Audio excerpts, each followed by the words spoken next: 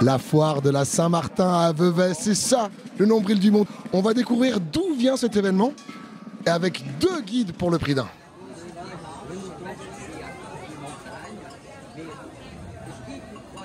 J'ai maintenant l'honneur de déclarer officiellement ouverte la 552e foire de la Saint-Martin à Vevey. Je vous souhaite une magnifique journée dans notre ville. Vive la foire de la Saint-Martin et bien entendu. En 1500, Vevey, est sous le joug des comtes de Savoie. C'est eux les chefs ici.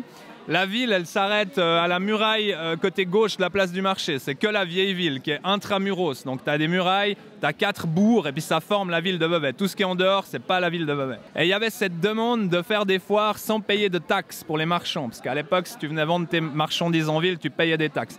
Et puis le comte de Savoie, il a accepté de faire quatre foires par année. Il y en a trois qui ont disparu jusqu'à maintenant. La seule qui a perduré, c'est la foire Saint-Martin. La foire de la Saint-Martin, elle se fait traditionnellement le deuxième mardi du mois de novembre. C'est une tradition immuable.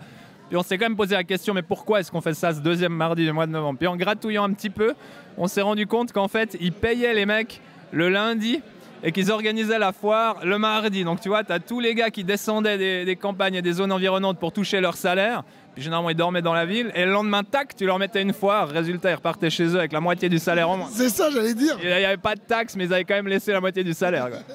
Et alors nous, ce qui est historiquement vraiment notre vivier ici, c'est euh, le pays d'en haut et puis le pays de Fribourg qui descend sur la Riviera avec les bêtes, avec les produits. Et puis si tu sens bien, tu remarques au niveau de l'ambiance que tu as pendant la foire de la Saint-Martin, tu as une ambiance assez fribourgeoise, pays d'en haut, c'est très chaleureux, ça se tutoie et ça discute.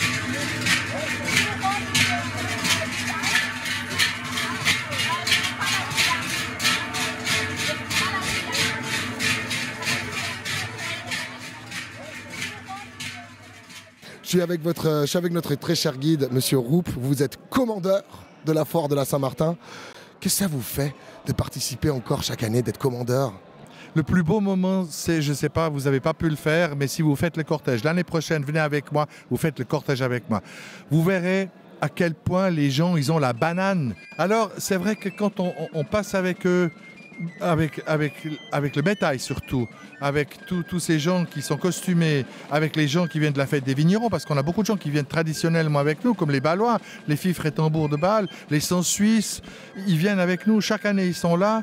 Euh, forcément, les gens, ils réagissent. Et c'est là, c'est là que moi, j'ai mon petit coup de cœur. Il n'y a pas mieux, quoi. Il n'y a pas mieux.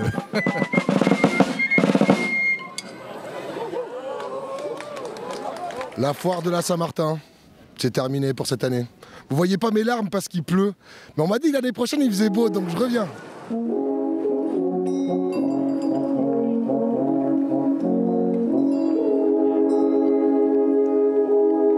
Bonne Saint-Martin à toutes et tous et à l'année prochaine pour le 11 respectivement le 12 novembre 2024 et la 553e foire.